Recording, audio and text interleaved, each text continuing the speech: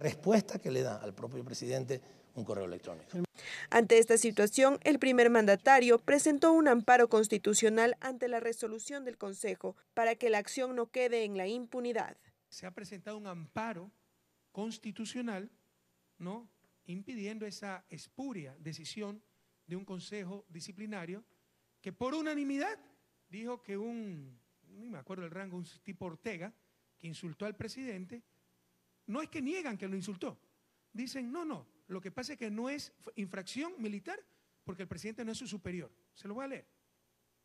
La jueza Alexandra Pérez Mayorga aceptó la demanda civil, la cual reúne los requisitos previstos en el artículo 10 de la Ley de Garantías Jurisdiccionales.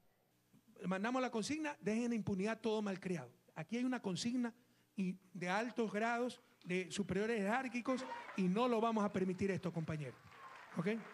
El presidente Correa hizo un llamado a los ecuatorianos, organismos internacionales y hasta a la oposición para estar alerta ante estas acciones. La fecha de la audiencia será el miércoles 31 de agosto a las 15 horas. Carolina Díaz, Noticiero Ciudadano.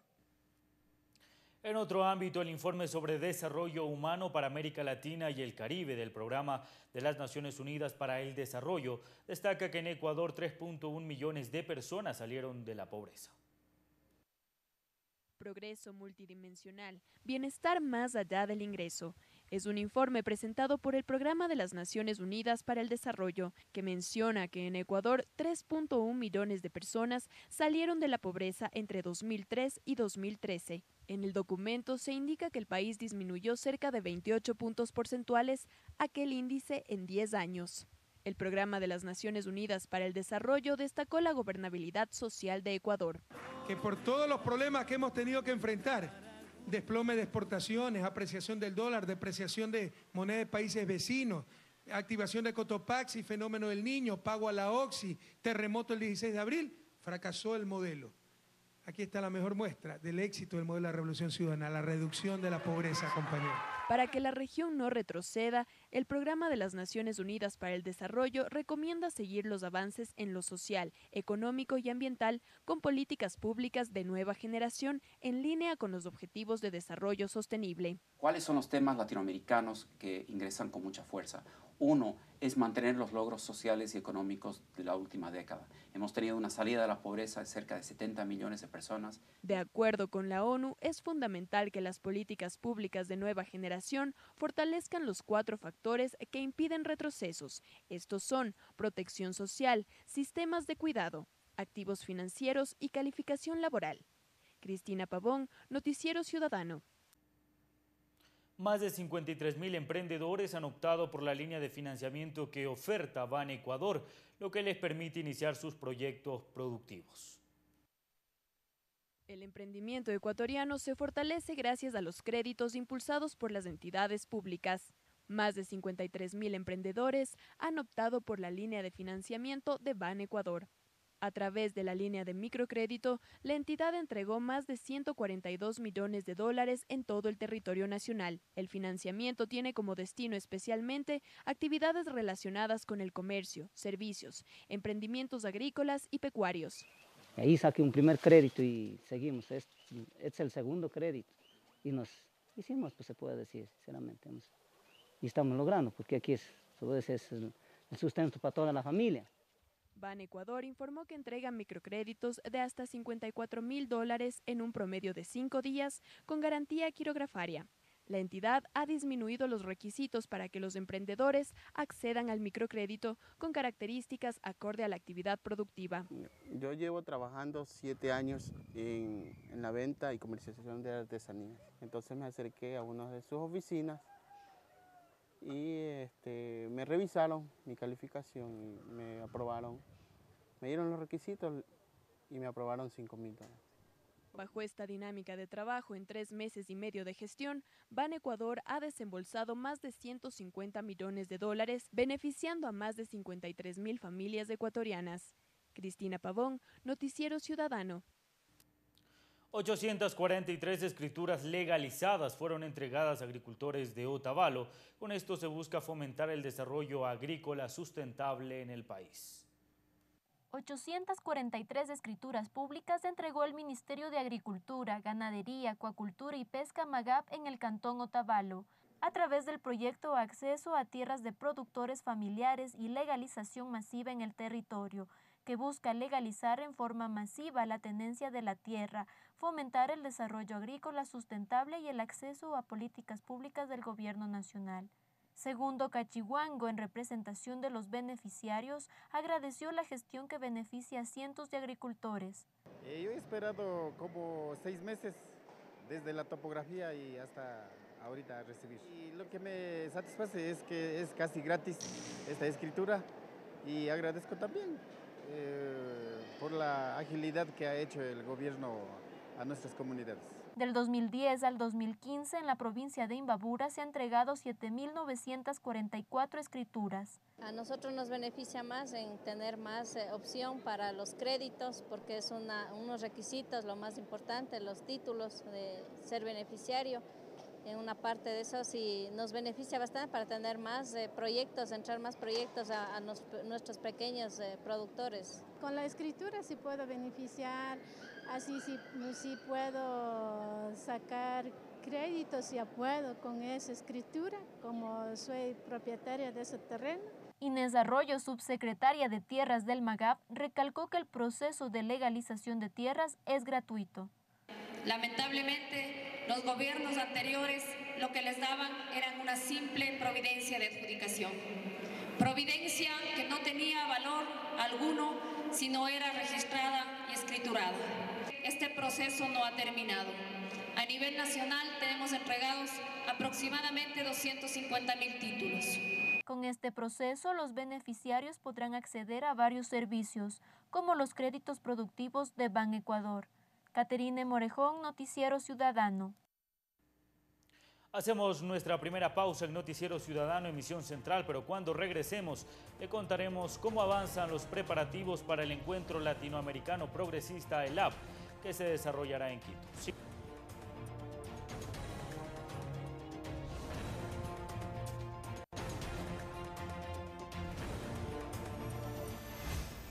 Inicio de espacio promocional.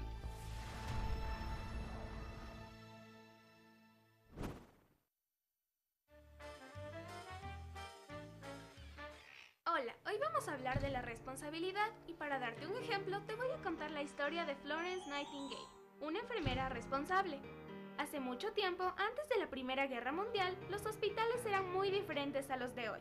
Carecían de elementos básicos para el cuidado e higiene de las personas. Florence Nightingale desde muy joven sintió la necesidad de servir a los demás y con ayuda de sus padres viajó a Egipto y Europa para aprender a atender a los enfermos.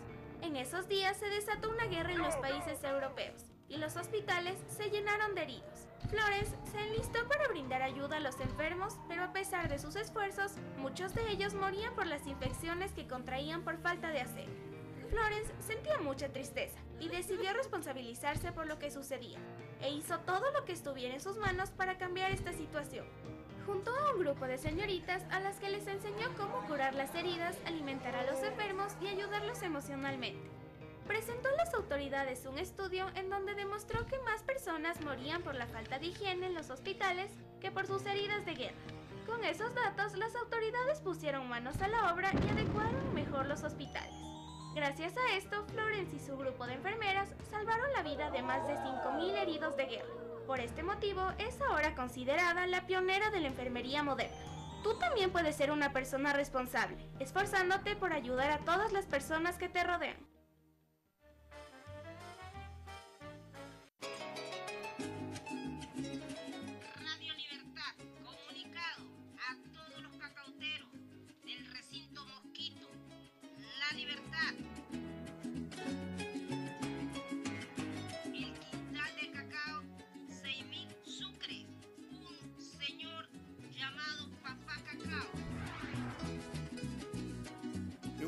Candelario Álava Párraga, como debe de ser. Yo soy producto de la morfina.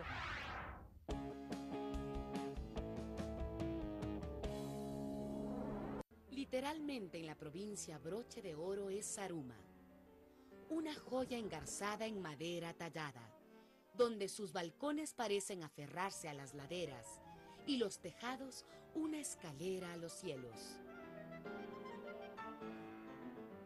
Pronto Saruma se contará entre las ciudades patrimonio de la humanidad. Será un reconocimiento al trabajo y valor artístico de los orenses. Como ningún otro, todo en un solo lugar, tan cerca. All you need is Ecuador. Ecuador es todo lo que necesitas. Fin de espacio promocional.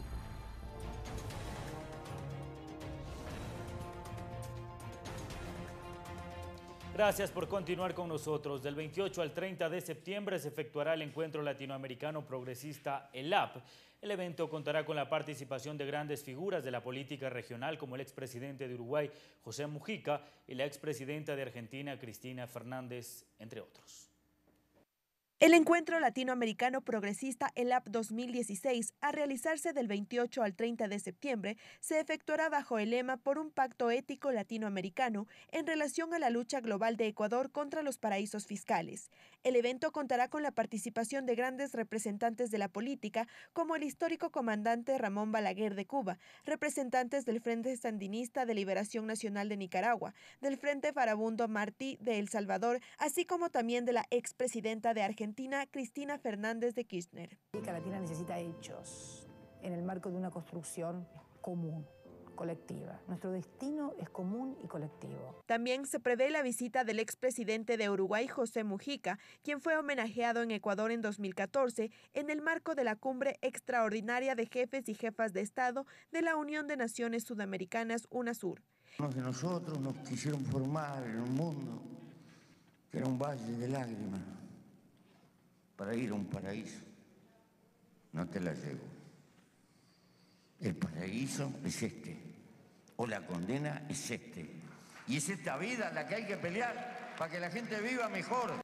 Este tercer encuentro tendrá un enfoque regional y político para la consolidación de las políticas de cambio en la región, así como también para aumentar la capacidad de los gobiernos progresistas de hacer frente al nuevo contexto geopolítico. Carolina Díaz, Noticiero Ciudadano. El próximo 5 de septiembre inicia el año lectivo 2016-2017 en todo el régimen Sierra y Amazonía. Los nuevos estudiantes superan los 150 mil. Caterine Morejón desde el Ministerio de Educación nos reporta este tema. Gracias, Víctor. Saludos cordiales, amigos televidentes. Así es, esta mañana el ministro de Educación, Augusto Espinosa, informó que más de 2 millones de estudiantes iniciarán este año lectivo 2016-2017 en el régimen Sierra Amazonía. La próxima semana comenzarán alrededor de 2 millones de estudiantes eh, clases en el régimen Sierra Amazonía. En el sistema fiscal tenemos 1.422.630 estudiantes que arrancarán sus clases. Y el dato, el dato quizá que vale la pena destacar es el crecimiento de la matrícula a nivel de bachillerato. Creció en un 13%. Cabe destacar que el ingreso de los estudiantes se realizará escalonado. Las fechas las detalló el ministro de Educación. El 5 de septiembre ingresa el bachillerato. El 6 de septiembre los estudiantes de educación general básica superior, es decir, de octavo a décimo de EGB. El 7 de septiembre de quinto a séptimo de educación general básica, es decir, educación general básica media. El 8 de septiembre de segundo a cuarto de educación general básica. El 9 de septiembre primero de educación general básica y el 3 de octubre educación inicial. Durante el conversatorio, el ministro también realizó varias recomendaciones a los padres de familia, sobre todo en el tema del cobro de matrículas. Los planteles educativos están autorizados a cobrar una matrícula y 10 pensiones, una matrícula y 10 pensiones en el año. Las pensiones, las pensiones están establecidas o deben haberse establecido en los planteles educativos eh, en función de una aprobación que les daba o que les da el Ministerio de Educación. Una de las novedades para este año lectivo es la enseñanza del idioma inglés desde segundo año de educación básica. Para ello, de acuerdo al ministro de Educación, se incorporarán docentes de extranjeros como apoyo. Con esta información regresamos a estudios. Buenas tardes. Buenas tardes para ti también, Katy. Gracias por ese reporte. Hacemos una nueva pausa, pero al volver le contaremos que un estudiante de Yachay forma parte de un proyecto investigativo de la National Geographic. Con eso regresamos.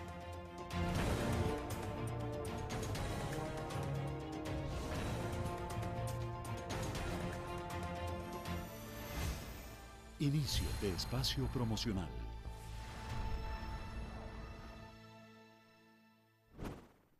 Hola niños. Estas vacaciones mis papis nos llevaron a Limoncocha que queda en la Amazonía. Ahí vimos un montón de plantas.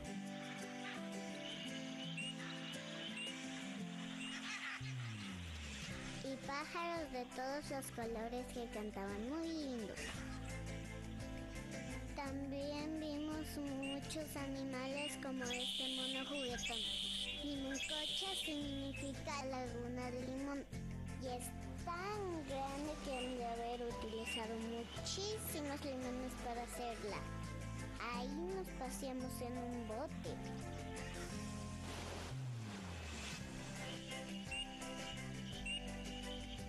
Dicen que hasta caimanes se ven ahí. Estuvo muy divertido. Para las próximas vacaciones quiero volver a Limoncocha. Como ningún otro, todo en un solo lugar, tan cerca. All You Need is Ecuador. Ecuador es todo lo que necesitas. Fin de espacio promocional.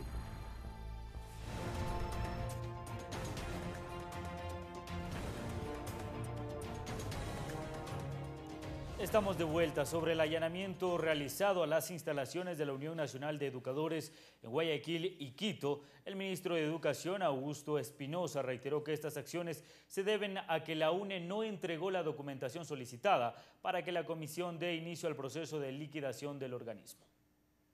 Y la UNE no ha dado las facilidades para que esta comisión pueda trabajar. Acá yo tengo, me han hecho llegar las comunicaciones que se le enviaron a la UNE, tanto para que puedan tener un espacio, un espacio de trabajo en las propias instalaciones de la UNE, como para reunirse y conversar. O sea, deberían hablar, deberían estar absolutamente abiertos eh, los que se autodefinen como dirigentes de la UNE para entregar toda la información que sea necesario para transparentar su situación. Precisamente el, origen de todo este proceso de disolución es porque no han entregado ningún documento que se les ha exigido. mandaron en el 2013 unas hojitas simples en donde decían, este es el acta de elecciones, han votado 50 mil maestros. Y se les dijo simplemente que presenten los padrones que la presidenta del Tribunal eh, electoral de la UNE haga una declaración juramentada diciendo que todo lo que se está entregando es fidedigno. Eh, se le pidió que envíe los estatutos de elecciones, se le, se le pidió que mande su registro eh, en, en, el registro único de organizaciones sociales, es decir, cosas absolutamente sencillas que tenían que cumplir. Pero como pretenden estar al margen de la ley, se inició este proceso con una primera carta en el año 2014, en donde se le detallaba exactamente lo que tenía que entregar.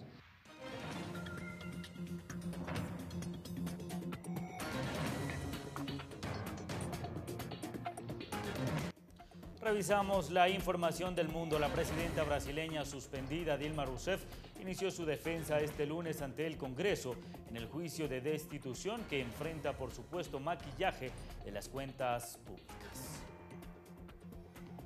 La presidenta de Brasil, Dilma Rousseff, se defiende el lunes en el juicio de destitución que enfrenta por maquillaje en las cuentas públicas. Decenas de simpatizantes la recibieron en el Congreso bajo la consigna Dilma Guerrera de la Patria Brasileña. Es la primera y última oportunidad que tiene para defenderse de las acusaciones en su contra. Y yo gostaría que a presidente, yo falo más como brasileira do que como advogada. Hablando más como brasileña que como abogada, me gustaría que la presidenta enfrente las acusaciones, que explique a la nación, por ejemplo, la no contabilización de débitos, el uso de bancos públicos. Sus detractores aseguran tener entre 60 y 61 votos para garantizar la condena, más de los 54 necesarios. Pero sus defensores todavía confían en revertir lo que parece inevitable. No vemos esto como un adiós, lo vemos como la confrontación de alguien que todavía tiene posibilidades de ganar, porque la mitad de los votantes no se han manifestado o no se han decidido. Pueden tener una u otra posición. Algunos cientos de personas se congregaron frente al Senado en respaldo a la mandataria, cuya suerte será decidida esta semana. Una destitución de Rousseff será también el fin en el poder del Partido de los Trabajadores, la fuerza de izquierda que gobierna desde hace más de 13 años la mayor potencia latinoamericana. Vengo aquí para mirar directamente a los ojos de sus excelencias y decir con la serenidad de quienes nada tienen para esconder que no cometí ningún crimen de responsabilidad. No cometí los crímenes de los cuales soy acusada injusta y arbitrariamente.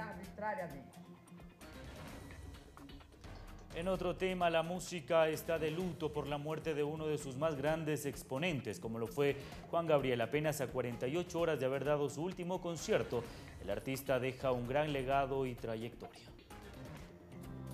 Nunca volverás, paloma, triste está el palomar, solito quedó el palomo, ahogándose entre sollozos,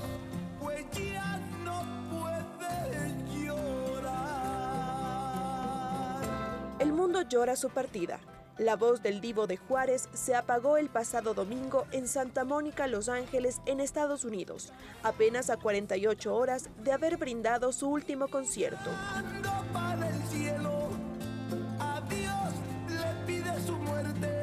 Juan Gabriel, cuyo nombre real era Alberto Aguilera Valadez, deja un legado de 44 años de vida artística. Y llorar en silencio por tu amor. Miro en el espejo y veo mi rostro. Antes de alcanzar la fama, sorteó difíciles momentos que forjaron el carácter que le dio impulso para convertirse en uno de los cantautores latinos más importantes de América. El divo de Juárez nació un 7 de enero de 1950 en la localidad mexicana de Parácuaro, Michoacán. Fue el último de 11 hermanos.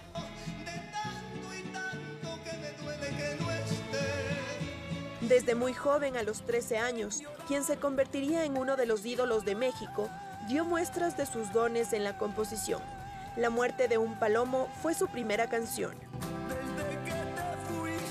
A los 15 años empezó a ganarse la vida cantando en bares de la ciudad de Juárez, como el Noa Noa, que años después inmortalizaría en una canción que ha puesto a bailar a millones.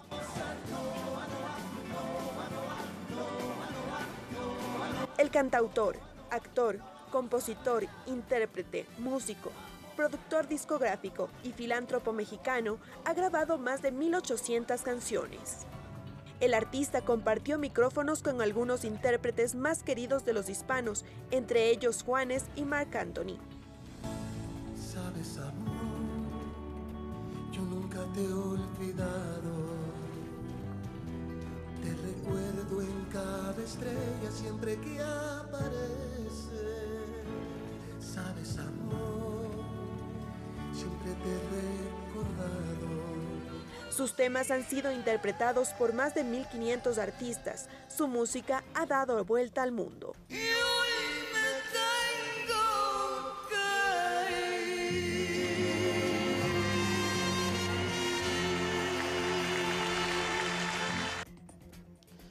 Continuamos. Desde este lunes, Colombia vive su primer día de cese al fuego definitivo con las FARC tras 52 años de conflicto armado.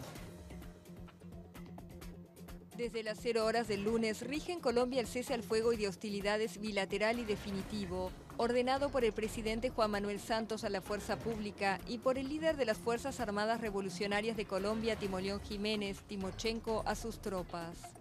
La decisión se enmarca en el pacto de paz anunciado el miércoles pasado en La Habana, tras 52 años de guerra que dejaron cientos de miles de víctimas entre muertos, desaparecidos y desplazados. Una paz que genera esperanzas, pero también dudas. Ya la gente respira un poquito más de tranquilidad, ya no vive pues con esa zozobra que, que ha vivido durante todo el tiempo de tanta tantas masacres, ¿no? Esperamos que no haya de pronto mini guerrillas comandando los departamentos. Entonces sería muy bueno que el gobierno sea sincero y que nos cuente a nosotros qué es la verdadera paz que ellos quieren. En las zonas rurales de influencia de las FARC ya sienten el cambio. Antes eso era un infierno por, por, por bandeos y ahorita se vive una tranquilidad muy buena, tanto de noche, de todo eso. Anda uno para cualquier lado, es muy tranquilo. Se espera que el acuerdo final de paz quede sellado entre el 20 y el 30 de septiembre en un lugar todavía por definir. Para hacerse efectivo, deberá ser aprobado en un plebiscito el 2 de octubre. Retomamos el plano nacional. Gustavo Bejar, estudiante de Yacha, fue seleccionado para formar parte de un proyecto de investigación que está financiado por National Geographic. Veamos. Gustavo Béjar, estudiante de tercer año de Geociencias en Yachaytec, fue seleccionado para formar parte de un proyecto de investigación que tiene como objetivo comprender la historia biológica y geológica de la selva amazónica. La National Geographic junto a la National Science Foundation han financiado un proyecto de investigación liderado por nuestro decano Paul Baker, cuyo objetivo es determinar de qué manera el levantamiento de los Andes ha modificado la biodiversidad de la zona andino-amazónica en específico del sureste de Perú, en la zona de Madre de Dios, donde un grupo de geólogos peruanos, estadounidenses y en mi caso ecuatorianos, nos dirigimos para recolectar más información que nos permita eh, determinar de qué forma la biodiversidad se ve afectada eh, en esta zona. Durante la excursión, descubrieron vestigios que contribuyen a tener un mejor entendimiento de la evolución de la fauna y las edades de los sedimentos amazónicos. Así fue como encontramos varios restos fósiles, eh, principalmente eh, molares, dientes de roedores, pequeños fragmentos de huesos y de piel calcificada, que nos darán muchísima información del ambiente y el tiempo en el que estos seres vivieron. Esta investigación ratifica la capacidad de los estudiantes ecuatorianos para participar en proyectos de renombre a nivel mundial. Carolina Díaz, Noticiero Ciudadano. En otro tema, 33 kilómetros de la ciudad de Loja está el Valle de Malacatos, famoso por sus frutas, cañaverales y gastronomía. Una localidad que se proyecta al desarrollo gracias al apoyo del gobierno de la Revolución Ciudadana. Bordeado de ríos y montañas se levanta Malacatos, parroquia de la provincia de Loja. En sus calles y plazas se refleja la memoria colectiva de sus habitantes como Víctor Libisaca, quien nació en esta tierra hace 62 años. Malacatos se llama en honor a la tribu los Malacatus, que habitaron el sur del Ecuador según Jacinto Gijón de Camaño. Él dice que vivieron aquí, en el sur ecuatoriano, los paltas, los calvas y los malacatos, y parte del norte peruano. Esta zona fértil de clima subtropical es propicia para el cultivo de caña de azúcar, de donde se elaboran productos como la panela. La producción cafetalera es otra de las actividades que sobresalen. El café de Don Víctor es muy apetecido no solo en el país, sino en varias partes del mundo. Es café de altura, el mejor calidad que hay en la provincia de Loja. Nosotros el café lo vendemos en, en la provincia de Loja. Estamos dentro de los mercados y también lo vendemos para otros países, Canadá, Estados Unidos, y dentro de, aquí de Ecuador también para Quito, Machala, Guayaquil. Uno de los atractivos turísticos es el Parque Nacional Podo Carpus, que cuenta con una exuberante vegetación. También el complejo recreativo es una de las alternativas para pasar en familia. Y si de comer se trata, se puede saborear las deliciosas fritadas o el tradicional repe lojano.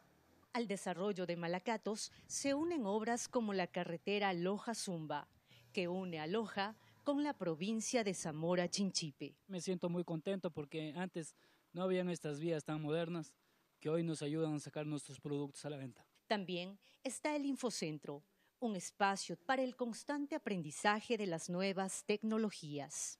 Aparte de conectarnos en las redes sociales, podemos venir este, realizar nuestros negocios por medio de las redes, a aprender cosas nuevas y conectarnos con todo el mundo. Su paisaje pintoresco, rica cultura y gente laboriosa hacen de Malacatos un lugar que usted no podrá dejar de visitar.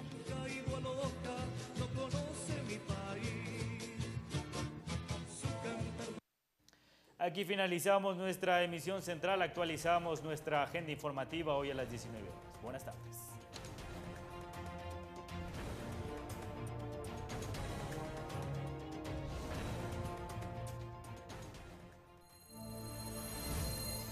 Usted está viendo